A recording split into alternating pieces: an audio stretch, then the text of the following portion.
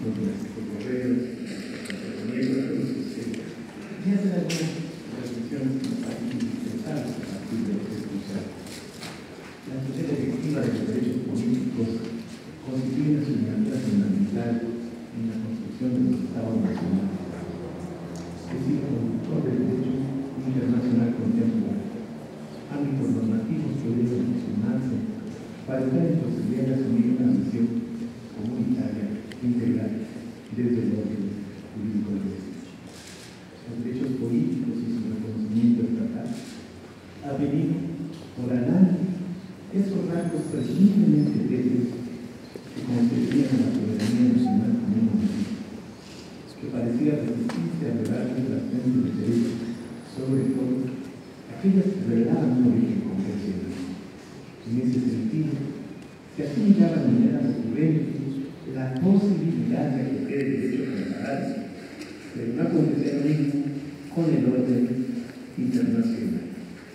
De hecho, durante muchos años algunos hombres jurídicos domésticos de los estados no han reconocido con la dimensión necesaria y oportuna la visión universal aportada por la comunidad de naciones, lo que explica en muchos casos el déficit o desequilibrio en que podemos encontrarnos muchas sociedades.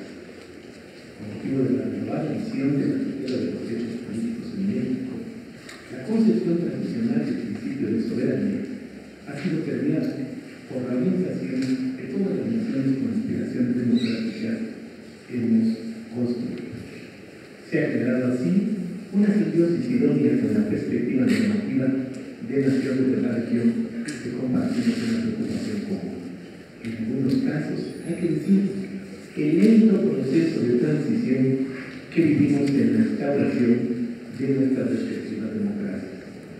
En otros, un retroceso de los escaños que ya se habían alcanzado en el proceso de consolidación de un modelo democrático. Esa es la realidad. En ese contexto, donde se, es donde se inscribe la importancia de la misión de los Estados americanos.